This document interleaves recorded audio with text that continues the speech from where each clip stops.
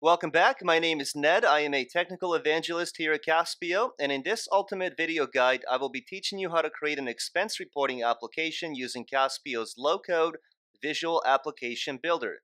In part 2, I will teach you how to set up all the database tables and create relationships using primary and foreign keys. Let's have a look. To begin building your application in Caspio, all you need to do is click on this link New App, and then you have two options on how you can proceed. You can either import data from an external source. So if you're bringing data in from Access Database, maybe an Excel spreadsheet, you can bring your data into Caspio and then build all of your applications on top of your data. Or you can build your application using a blank template. There's no right or wrong way to begin. This is really for convenience if you're importing some data. But even if you begin this way, you can always go to tools at a later time and import data. We're going to build this application from scratch. The next step is to give your application a name. You'll have your own naming convention, of course. It really just depends on what problem you're looking to solve and what is the purpose of this application that you're building. In our example, we're going to call this application expense reporting. And once you're done, go ahead and click finish to save your changes. And immediately what you'll notice is this application will be listed on your home screen. From here, what you want to do is click open and once you open an application, you're going to find these objects on the left-hand side, and you'll be using these objects to build your application that you're currently inside. The overview screen is mostly informational for you to keep track of your progress and to add some notes, but the most important place where you want to begin building your application inside Caspio is always going to be the tables object. Tables are the foundation or the backbone of any application you build inside Caspio. This is where all of your data will reside and where you'll have all of your field names along with their appropriate data types. To begin building your tables for this application, all you need to do is click on this link New Table. And once you open this view, you're going to be able to list all of your fields here on the left, and you'll be able to assign the proper data type for each one of your fields. Now I'm quickly going to populate this table with all the necessary fields for our first table. And then once I'm done, I will go ahead and explain all the field names and the appropriate data types. But what I want you to do is I want you to pause this video once you see the fields and go ahead and copy the fields and the data types inside your application as well. And here I have all the fields listed along with the right data types. As I said just now, go ahead and pause the video and copy all the field names along with the data types inside your application if you decided to build this application along with the video.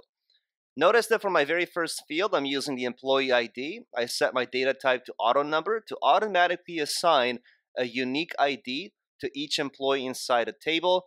And that's also referred to as the primary key to uniquely identify each row inside a table.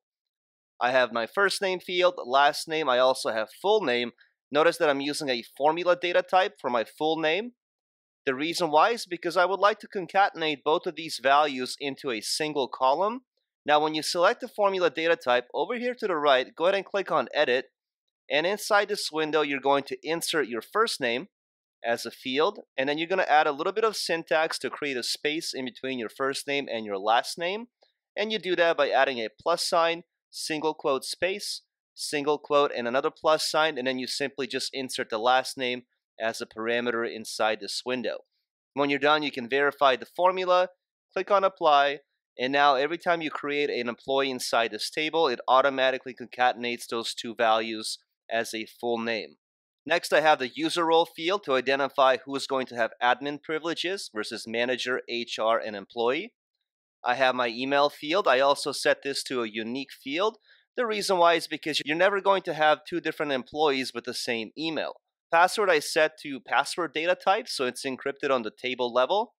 I have my title field for each employee, department they belong into, user photo. If you would like to capture an image of each one of your employees, you're welcome to do that. This field is not mandatory. In fact, many of these fields are not mandatory, but if you're looking to track more information pertaining to your users, you're welcome to add these fields as well.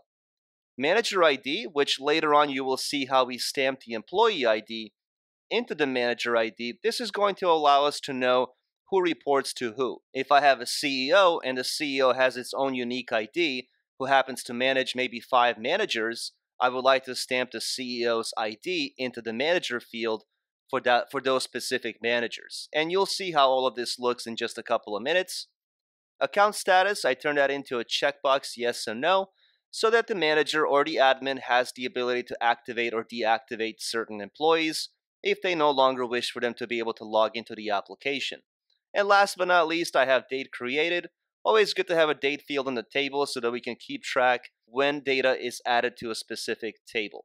Once you're done adding all of these fields, next step is to simply save your table, give it a name. I'm going to call this table ER for expense reporting underscore TBL underscore employees. Once you're done, go ahead and click on finish to save changes, and you should be able to see that very first table listed under the tables menu. From here, what I would like for you to do is open the table now. You'll see it's an empty table. Go ahead and now add a few employees to this table. I'm going to quickly populate my table so that you can see how the employee ID field and the manager ID relate to one another. And here I have populated my user table with some sample data. As you can see, John Davis has an employee ID of 1. He is the highest level user in this application. I gave him a user role of admin, as you can see. His title is CEO. He belongs to his own department, which is CEO. And at the moment, you can see we have an active status when this account was created. I'm not adding any user photos inside this application, but you could attach a photo to John Davis if you wish, or anybody else inside your company. We have our passwords, they're all encrypted, and all the emails, as you can see, are different. In other words, they're all unique.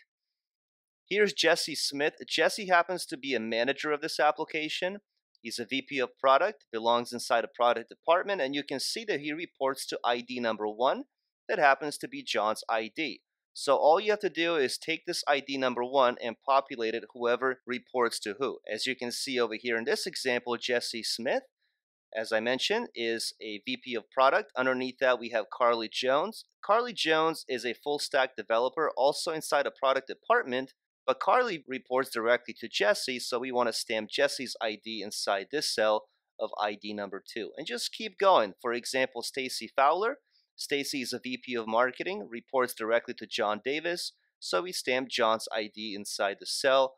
And lastly, we have Roberto, who happens to be a technical writer, and he reports directly to Stacy, so that we take Stacy's ID and populate it inside that cell.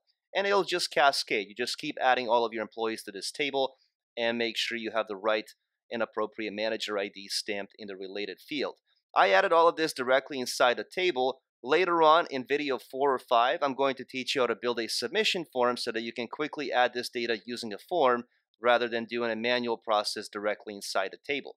So again, pause the video and go ahead and add some of your own sample data so that you can get the feel for how this employee ID will stamp directly into the manager ID depending on who is supervising who. Once you're done, go back out to the tables menu and let's set up our second table. Once again, I will click on new table. And you're going to want to add your fields once again. Now this table is going to contain all the information pertaining to our expenses. I'm going to quickly populate my table, same as before. And here we have all the fields for managing expenses. Notice that my very first field is expense ID, and I chose data type random ID so that we can automatically assign a random unique ID to each expense inside a table. I also want to be able to stamp the employee that's actually submitting the expense. So this becomes an integer data type. We have the category, title, description, which I turn into text 64,000. Total receipt, we want to be able to attach a receipt so that we can submit that for approval. And I chose file data type, which deals with attachments.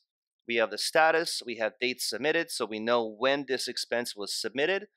We also have process by manager ID, which is integer. So when a manager is looking at the expense, we want to be able to stamp that manager's ID into this table because it was approved by that specific manager. We also have manager rejection reasons so that if the manager rejects the expense, we want to input the reason why the expense was rejected. We also want to track when that expense was processed by the manager. Then we have processed by HR ID, once the HR is done processing the expense, we want to know which one of our HR employees processed that expense. So we want to stamp that unique ID. We also have rejection reason for HR. We have a process date. And finally, we have pay date, when that expense is finally processed and paid out to the employee. When you're done, go ahead and save your table. Once again, I'm going to call this ER, TBL, expenses, and I'm simply going to click finish to save my changes. You should now be able to see two tables listed for this application. The remaining four tables are going to be very simple lookup tables that will be used inside dropdowns on our submission forms and also the reports. Now I'm quickly going to populate the remaining four tables and just quickly show you what all the values we have inside those tables. And here's a list of all six of my tables. The remaining four tables, as I mentioned, are just basic lookup tables. All I want you to do is click on this link New Table. Now, since I already have my tables created, all I'm going to do is click on Design to show you my field. So as your very first lookup table, give it a field name category, save your table, and then once you open the table, go ahead and list a few categories inside these cells. And as you can see, I have my categories listed. You can pause the video now to input your own categories, and when you're done, go back out to the Tables menu. And all you're going to do is repeat the process three more times. Click on New Table.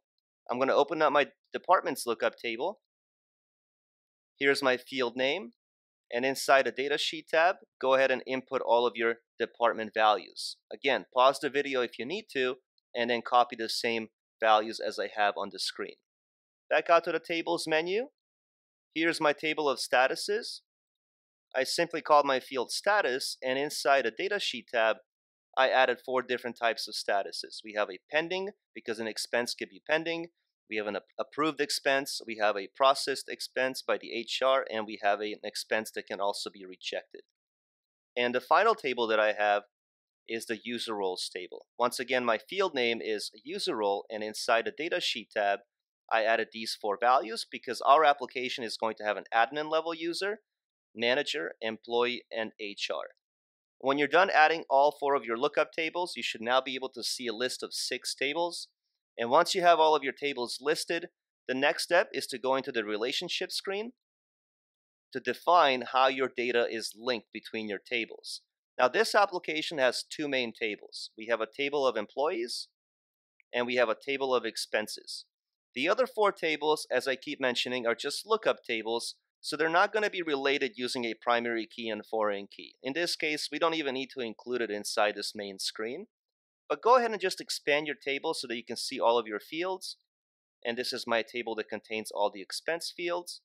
And the way these two tables are linked is we know that each employee can submit an expense and we want to be able to track which employee is submitting that expense. So all you need to do is drag the employee ID from the employee table and hover over the employee ID from the expenses table, and when you let go, you will see that Caspio defined that relationship as a one-to-many, meaning that a single employee can be linked to multiple expenses. Now you have additional settings here that you can enable, but in this use case, we're going to bypass these and just simply click on Create, and now you will see how a single employee can be linked to multiple expenses. Notice we also have a field called Process by Manager ID. In this table, we have employees, we have managers, we have admins, and we have HR. And even the managers will have their own unique ID. So what you want to do is stamp the employee ID into the manager ID field because once a manager processes the request, we want to stamp that manager's ID into the expenses table so that we know which manager approved the expense or rejected the expense. I also have HR ID. So once again, we're going to grab the employee ID of the HR staff members and stamp it into this field as well. What that basically means is when an HR is reviewing the request, we want to be able to approve or reject that request as HR. So this is the reason why we also want to stamp the employee ID into this table as well. And this is all you have to do. Most sophisticated database applications could have 4, 5, 10, 15 tables. And once you create these lines between your primary and foreign keys, it tends to look like a giant spider web. That's usually how I describe it. So this concludes our video on how to set up the tables and how to define our relationships between the tables. I hope that you enjoyed it and I hope to see you in the next video where I teach you how to set up your login screen and how each user is redirected based on their user role within the table. I'll see you there.